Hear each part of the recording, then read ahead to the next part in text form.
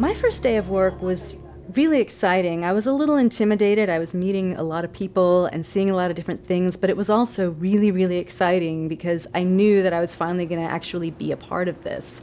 Uh, the building that I work in is where a lot of really exciting things happen, so I was seeing a lot of different facilities and I remember being sore as I was walking around that first day because my furniture hadn't arrived yet and I was sleeping on the floor of my apartment, but it was great. I, I can't even describe it.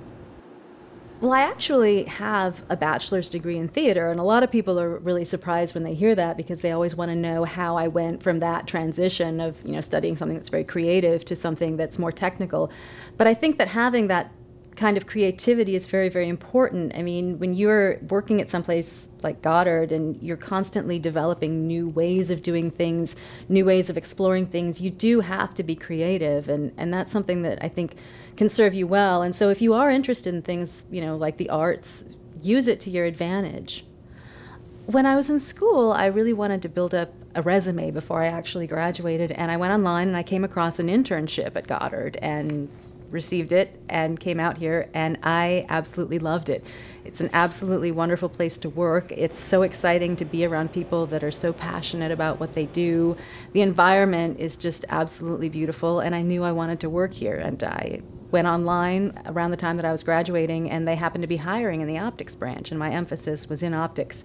And we helped to actually build the hardware align it, do that kind of work, test it at the subsystem component level. And my job is really interesting because I do different things each day. Sometimes I'm in the lab taking data or looking at data.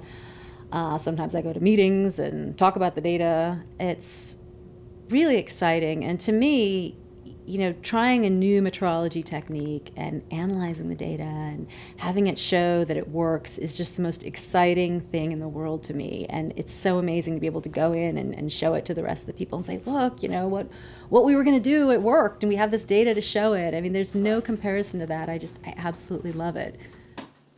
One of the things that I find the most challenging about my job is no matter how hard I plan or how hard I try, there are always things that are outside of my control. We'll be in the middle of building an instrument and uh, a piece of equipment will break and we need to fix it and kind of rearrange our schedule to accommodate it, explain to people what went wrong, how we're planning on fixing it. And so it, it's really caused me to kind of not be so rigid and have to be able to go with that flexibility because I'm the kind of person who needs to know at every moment exactly what I'm doing and when I'm thrown for a loop like that, you know, you just have to be able to recover from it immediately to keep things going. I'm proud of the fact that in my job, I won't compromise what I believe is the right thing.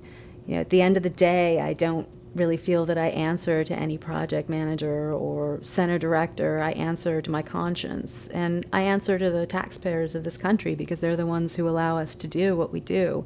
And it's important to me that we give them something that's meaningful to them.